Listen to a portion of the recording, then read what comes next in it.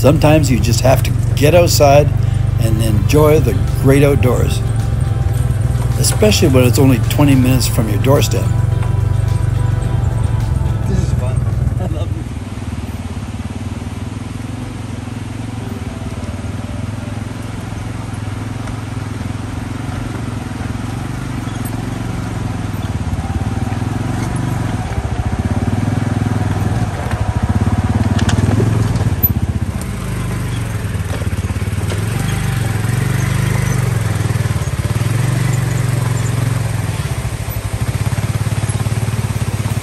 Take it slow and easy. That's my motto.